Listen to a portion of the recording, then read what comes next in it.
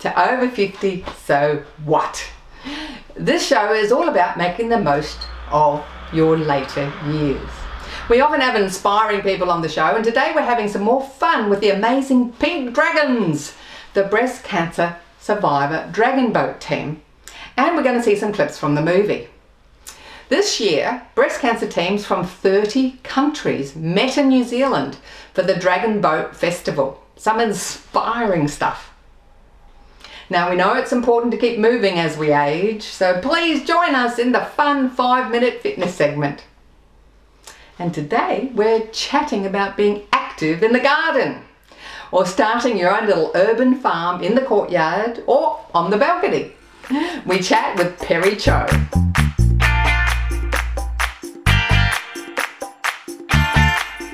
You may not be aware of it, but there's an international movement for dragon boat breast cancer survivors. It was inspired by the research done by Canadian Don McKenzie, a sports medicine specialist. There are multiple groups around Australia and New Zealand. Today we're going to meet some of the pinkies, the pink dragons in Auckland, New Zealand. And we're going to see some clips from the movie The Pinkies Are Back.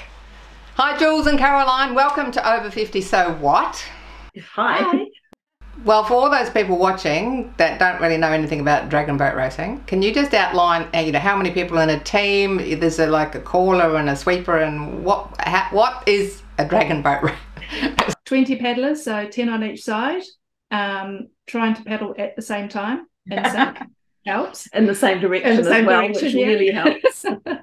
um, you have a caller up the front yelling at us, and you have a sweep at the back who is steering the boat and, and yelling at us. To, yeah, and yelling at us. sweep. I'm training to be a sweep. You're training to be a sweep, are you? It's interesting. I've fallen off once. That was that was fun. It was a spectacular climb back on the boat, though. I have to say, it was yeah. really, really good. yeah, it's just everybody working as a team and trying to bring the boat, boat forward and win. Welcome to Pink Dragons. There's two things that bring us together. The first one is because we like each other. You make friends for life. The second one's dragon boating. On the water and off, we're a family. I didn't put your beer in the fridge. I've been too busy. Feels like your world's falling apart. Um, I guess there are ways you can deal with it and you know, for breast cancer survivors, dragon boating is a really good way because you get on the water and empty your brain, and it's great. Oh, there's a good benefit to emptying your brain from time to time, isn't there? Oh, yeah, yeah, yeah. So, what are the other benefits that you've noticed from being involved in dragon boat racing? Well, I've got muscles I ever thought I would have, and quite sort of straight shoulders, which is really nice. Mm. Core body strength, um, you know, all of those things. Um, you know, my boobs are not sagging terribly much. that could have been the, you know, the boob lift. Um, so, Jules, what do you think are some of the other benefits? I think it's it's just great being around women who have gone through the exact same thing that you have. I mean, everybody's yeah. everybody's story is different. Um, everybody's experience is different, but we've all gone through the same thing. Um, so it's great, you know, if you want to, you can vent and you know, someone can say, I know how you feel because they do um, and it's just yeah, it's just great. I think the the one thing that I mean, cancer is the the criteria that brings us all together. Um, but once we get in the boat, it's kind of like that's not our mm. common card. You know, mm-hmm. there's all sorts of other things that kind of draw us together, and we're we're actually a lot of us are friends off the water as well. In mm. fact, most of us are friends off the water. Mm. It's it's like a family, another yeah. family. So everyone's got your back. If you're in, you know, if if, if something's going on, someone will be able to help. Um, so it's it's it's amazing. For someone who's never done dragon boat racing, and Caroline, you mentioned you started from zero fitness. Maybe there's you know some other breast cancer survivor out there that wants to have a go, but they've got zero fitness and they've never even done dragon boat racing before. What would you suggest? Even if you've got no kind of training behind you at all, you don't do any kind of fitness or whatever, you can still get in the boat. Mm-hmm. It will take you a few weeks to get paddle fit, but you will get fit. Mm-hmm. But obviously, if you're doing external kind of exercise regime as well, then it's a lot easier. But um, the key to it is just being able to keep in time. Mm. You know, it doesn't matter if you're, you know, not strong in the beginning. Just keeping in time with everybody else is the key thing. Mm. Your Um, strength will come. Yeah, the strength will build over Mm. time. So just, you know, if you can keep a beat, then you should be good. Just get in a boat and try it. So you can just get in and try it. You don't have to do races or anything, do you? No. So we we have give it a go days, which I'm sure most of the clubs do as well, um, where you can just literally go down and sit in a boat and try it out. And if you don't like it, you don't like it. But having one go and making up your mind is pretty, you know, that's pretty hard Mhm. because once you get into the rhythm of it and and kind of the idea of it, it's easy to keep going. And as you build up your strength and you kind of challenge yourself a little bit more, you kind of keep going. So um, in in the Pink Dragons, we've got um, a lot of the team are Auckland reps, and a, a lot of the team have put their names forward to become New Zealand Black Dragons as well. So there is there's a whole pathway. You can go, you can turn up and just train and and use it as your fitness thing, or you can push yourself and go kind of to the next level. I was in Australia last August, and I managed to meet up with a team from Moruya and um, they were all from various parts of New South Wales, all training together. So up and down the coast, and they'd all come down to Moruya to train, and I was allowed to get on the boat with them, which was fabulous. Go up the Moruya River, um, and those guys were going to the Pan Pacific Masters Games. Oh, so there's actually international um, um, regattas or competitions. Some of the breast cancer teams um, have been over to New Zealand for our national events. It always makes me laugh, but Miss Ability, I always get it wrong, um, came over to one of our nationals a few years ago. Yeah, there is a bit of international competition, and obviously the the world competitions um, are pretty fierce, and there'll be teams from Australia and New Zealand and everywhere else in the world going as well. So where's the, the next comp or the next regatta? Where's that going to be? We've got regionals coming up at the end of March, which will be held here in Auckland. Then we've got nationals, which will be held down in Waikato at Lake Karapiro. Um, and then we have the International Breast Cancer Paddlers Commission um, regatta, which is a worldwide regatta in um, the Waikato at Lake Karapiro in, in April as well. Currently, there's about 3,000 breast cancer paddlers from Mm. all over the world coming down to New Zealand. It's going to be massive Yeah. um, and it's going to be a lot of fun. We've got worlds to compete at as well in Thailand in, in August. Let's have a good race, ladies. Let's have a good race.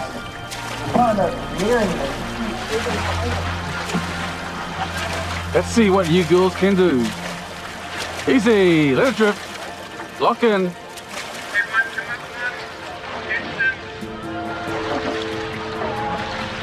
Just do your job and follow the first four. Take us forward, three strokes, set them up. One, go, one, one, one, four, go! One more, yep. Get ready, girls. Get ready, get ready. Ready, go. Get ready! Two, three, four, five. Let's go, girls! Go, go, go!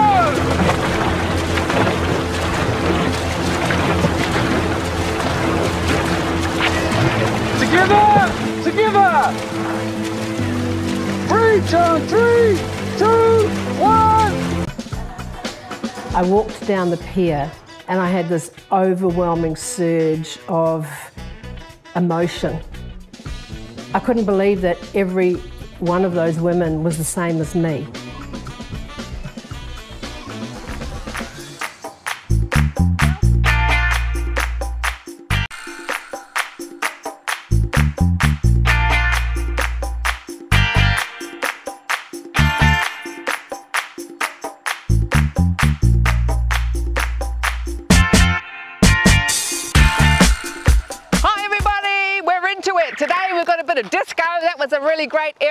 The 70s. Love my disco.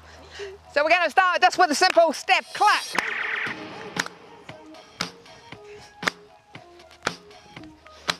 Can you remember some of the moves from uh, Saturday Night Fever? Because we're going to be doing them.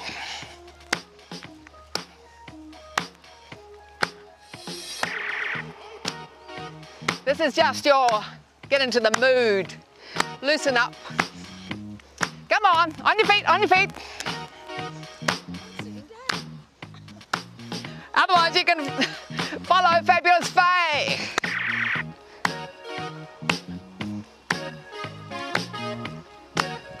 All right, now we're going to do a hitchhiker. We go hitchhike, stick that thumb out. You got it? What's this one called? What's it called? Hitchhiker. You got it, haven't you? Because we're going to do it fast. Ready? Fast. You can do a little swivel with your feet at the same time.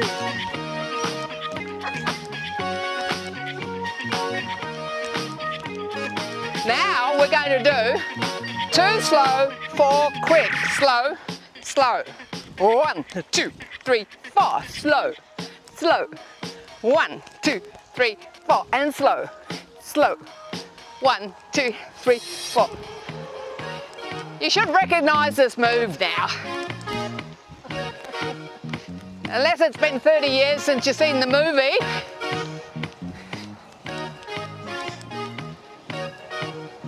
Okay, hold it there.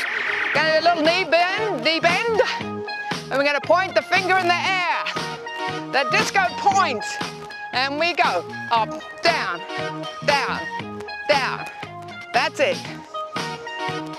See, you're getting these little uh, plies or squats in or knee bends at the same time. Let's try the other side. Up.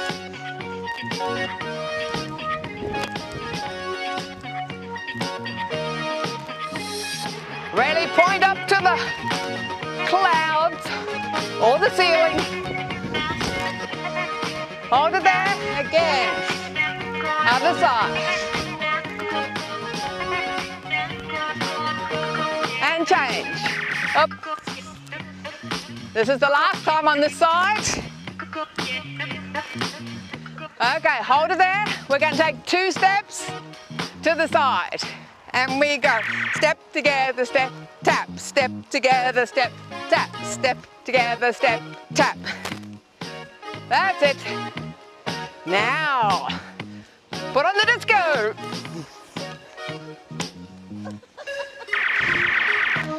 Faye's cracking up over there.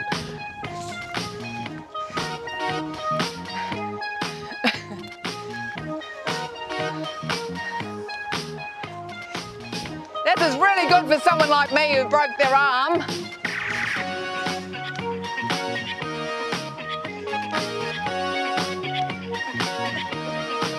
Keep it going.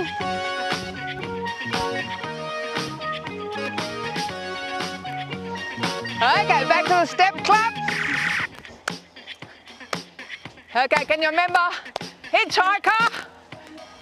Too slow, four quick, slow, slow, quick, quick, slow, slow, quick, quick, quick, quick, slow. That's it. They used to call me the disco queen. I think Faye's going the opposite way. But that's okay, she's still doing it. Just like you. Keep doing it. Doesn't matter if you go the wrong way, do the wrong moving.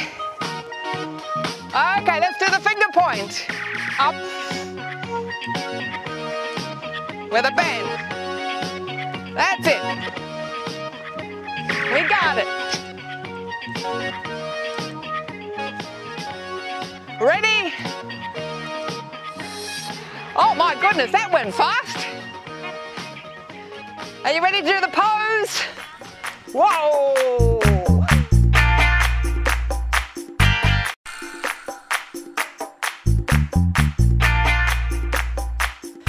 Hi everyone, welcome to the bucket list. Previously, we've spoken to Perry Cho about just how easy it is to grow your own fruit and veggies in your backyard, on a rooftop, in an apartment, or in a local community garden. And today we're talking with Perry about the food cube system and Biofilta and just how easy it is to set up these great little urban farms all around the neighbourhood. Hi Perry, welcome back. We're in our, your beautiful garden again.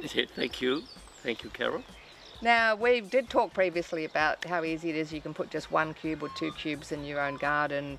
Uh, just tell us, how do these food cubes work and why are they so easy?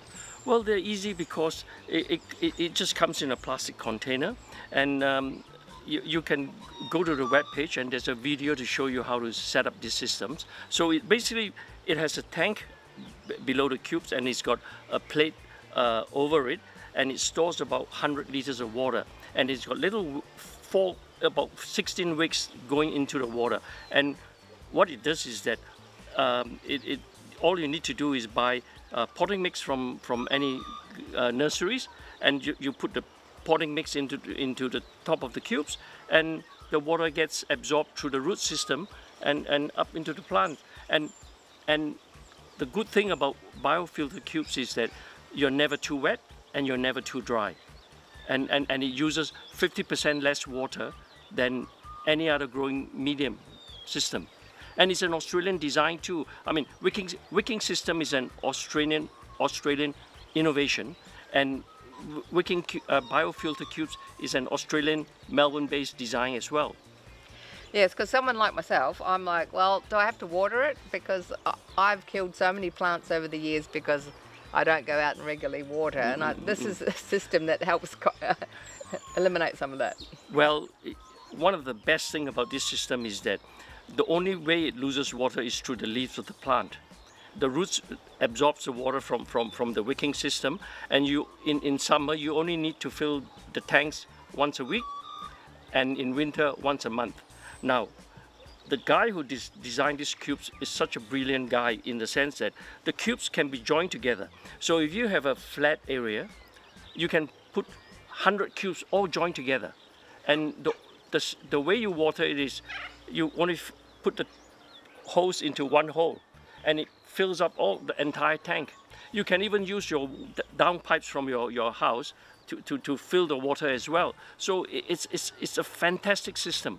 And, and, the, and, and this way it allows a lot of us older Australians to go on holidays. How good it is. You don't have to ring your mother-in-law or your, your next door neighbor to come and water your plants when you're on holiday and worry about it. You can go away for up to a week. And in actual fact, I reckon you can stretch it to at least 10 days or 14 days without watering it. Uh, but I, I love to water it just to make sure uh, uh, once a week in, in, in summer and um, uh, once a month in winter. Uh, uh, as for the, as for this year, with, with the wet weather we have, I didn't water it at, all in winter because it, was, it has been so wet. And the, the point is, because it's raised beds and there's outlet pipes in, in, in the wicking system, it's never too wet. It's never too wet. Everybody's complaining about wet soil this, this winter and, and spring, and I haven't had wet soil because that's how good this system is. You got to, it's never too wet or never too dry. So tell us, what sort of things are you growing in the food cubes? Well, I mean, as you can see from my garden, I've, I've got I've got bok choy, uh, beans, capsicums, uh, eggplants, uh, tomatoes, chilies, spring onion, uh, iceberg lettuce, uh, corn, and and even lemongrass. And, and it's something I've been trying to grow for 43 years. and finally, I have achieved growing lemongrass.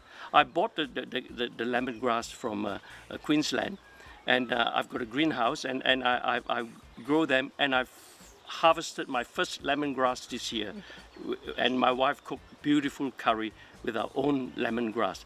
After 43 years, I'm so thrilled with it. You're so passionate about your garden and your produce, you've actually got your own little greenhouse. So you've hmm. combined the food cube with the greenhouse. That's, that's right. And you, you can see the, the lemongrass, see how healthy it is in the back, right at the back right hand corner? Yes. See, I, I, it's a monster. It is, it is, and, and I could never grow it as I, and, and it, it, it it's so healthy. I just cannot believe that it's so healthy. You can create your own microclimate.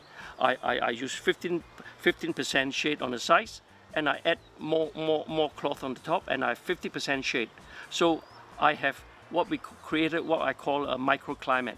Uh, the Australian sun is too hot, and, and it seems to burn a lot of things. And if you have 50% shade on the top and 15% shade on the side, you absolutely can grow anything. So a lot of people are concerned, you know, because you get a couple of days at 40, 42 degrees and Yes. all of a sudden everything's fried. Yes. So that obviously combats that. Exactly, exactly. And, and, and, and if you want to get more elaborate, you buy more shade cloth and, and you just cover it over, over, over, over it when the hot days comes around. It depends how extreme you want to get. Look, it, it's not difficult. I mean, like, like, like, like, I, I, I am I'm extreme, and so, so you're talking to the wrong person to a certain ex- extent. But generally, it, it, it, it's, it's as simple as that. It, there's nothing complicated about this system because anything can be purchased online nowadays, and, and, and the net system works really well. You can buy clips, you can buy nets of different density, and, and, and, and it, it's fantastic. What I like about growing vegetables is that the more you put into it, the more you get out of it. And and as so as, as I said to you, it might sound that growing vegetables is difficult. It's not difficult. It's how much you want to put in it and how much you want to get out of it. You, if you don't want to put a lot into it, that's fine. It'll still it'll still grow. It, it depends where, how far you want to go. Uh, I'm just a sort of guy that I was brought up by my, my my father. He always said to me, Perry, if you want to do something, make sure you do it properly. Otherwise, don't bother. So that's the mentality I was brought up in, with. But you can just have fun in the garden. Oh my word, absolutely, absolutely. You you can you you can just most most vegetables just grow. It's, it's very easy, very easy. As I said to you, I I don't have to do much because because the fact that I buy potting mix for my uh, wicking beds is that I don't have weeds. I don't with nets. I don't have weeds. I don't have insects. So really, apart from planting the the the, the, uh, uh, the vegetables, I really don't have much to do. I love that bit where you said you don't have weeds because everyone automatically thinks I'm going to be weeding all the time. Well, I had very bad, bad experience when I was growing flowers. In trying to help the scout group, I bought some sheep manure and I planted in the garden. Did I get thistles? I got thistles and thistles and thistles. It's, it grew everywhere. So I've learned my lesson. I don't use, I try not to use fresh manure. Awesome. Well, thank you for letting us know about these food cubes and how easy it is, and you can get started in your rooftop in your backyard. You can talk to the council, get a community garden going, and just go and enjoy being in mm. nature. And, and the other thing I might, I might say add to it too, the, the, the, the, the community gardens. A lot of cities and towns have community gardens. And what better way to, to encourage our young kids to, to, to grow vegetables in community gardens using cubes because the kids love it. It's just the right height for the kids too. Perfect height. All right, beautiful. Thanks a lot, Perry. We'll chat again. Pleasure.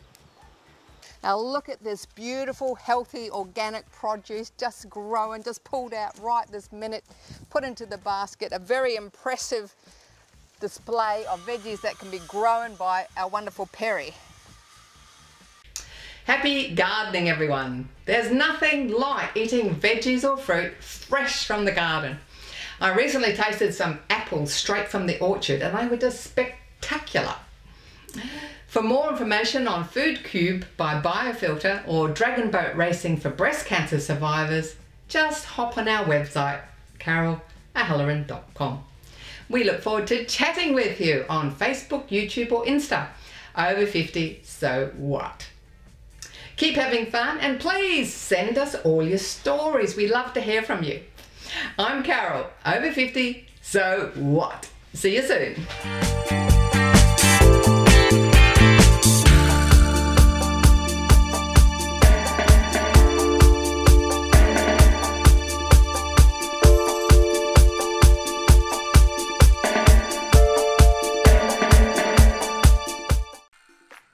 Thanks for watching our TV show. Be sure to hit subscribe and then you'll never miss an episode. Jump on Facebook, join our group, get in on the fun, fitness, wellness, and inspiration. I'm Carol, over 50. So what?